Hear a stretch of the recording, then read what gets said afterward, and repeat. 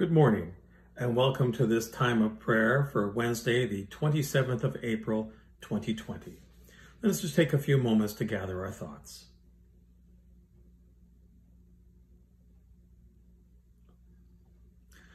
O Lord, open our lips, and our mouth shall proclaim your praise. In your resurrection, O Christ, let heaven and earth rejoice. Alleluia. The night is past, and the day lays open before us. Let us pray with one heart and mind.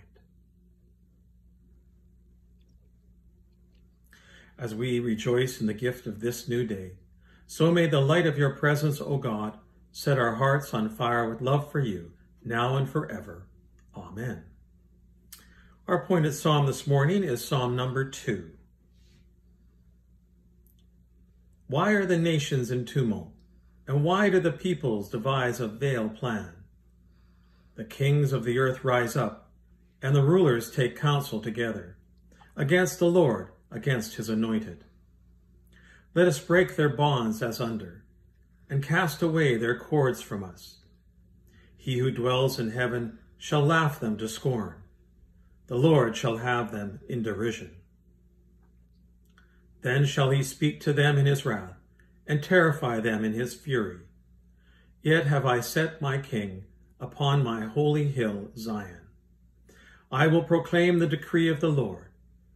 He said to me, You are my son, this day I have begotten you. Ask of me, and I will give you the nations for your inheritance, and the ends of the earth for your possession. You shall break them with a rod of iron, and bash them in pieces like a potter's vessel. Now therefore be wise, O kings, be prudent, you judges of the earth.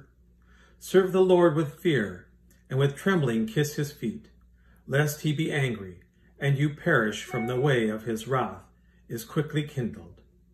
Happy are all they who take refuge in him. Glory to the Father, and to the Son, and to the Holy Spirit, as it was in the beginning, is now, and shall be forever. Amen. Our canticle this morning is a song of Ezekiel. The Spirit of God fills the whole world. Alleluia. I will take you from the nations and gather you from all the countries. I will sprinkle clean water upon you, and you shall be clean from all your uncleanliness. A new heart I will give you, and put a new spirit within you. I will remove from your body the heart of stone, and give you a heart of flesh. You shall be my people, and I will be your God.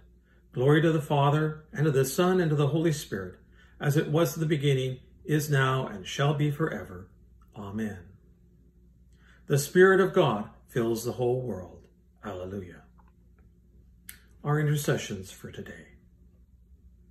We pray for this day and the task which lay before us.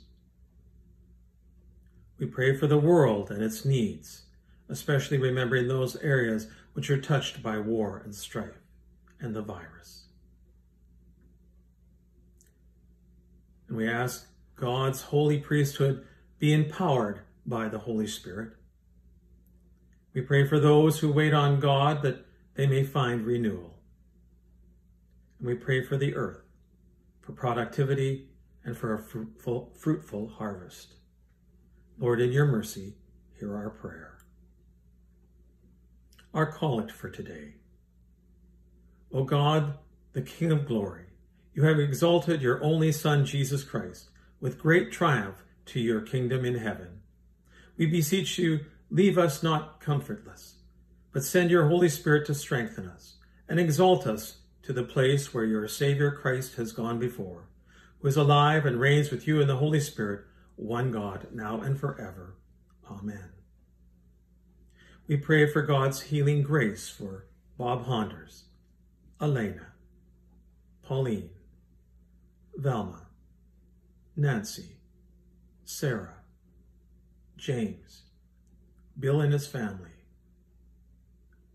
Angela, Grace, Marjorie, Elota, Yvonne, Gord, Catherine, Richard, Stephen, Shirley M., Luca, Jacob, and to those who are known to you alone.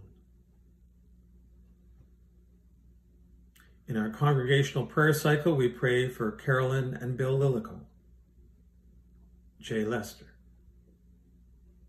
Wilda and Perry Mariner, Pat McCleve, Bob and Linda Matisse, and Doris Michaels. By way of blessings and thanksgiving, we give thanks for the ministry of our parish council, for the sharing of their time and talents for the well-being of St. Clare's.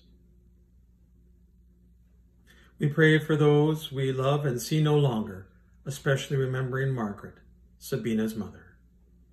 May light perpetual shine upon Margaret. And we pray and ask you, O Lord, to comfort Sabina and Terry and their family during this time of grief and sorrow. We pray for those who are coping with the virus. Keep us, good Lord, under the shadow of your mercy.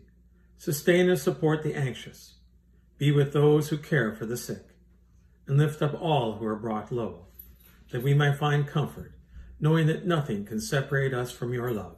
In Jesus Christ our Lord. Amen.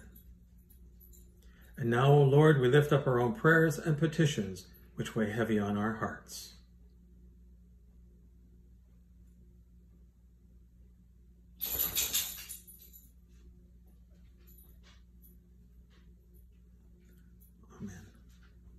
Lord, in your mercy, hear our prayer. Almighty God, you've given us grace at this time with one accord to make our common supplications to you.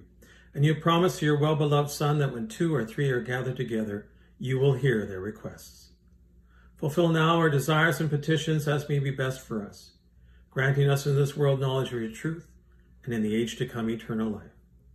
For you, Father, are good and loving, and we glorify you through your Son, Jesus Christ, our Lord in the Holy Spirit, now and forever.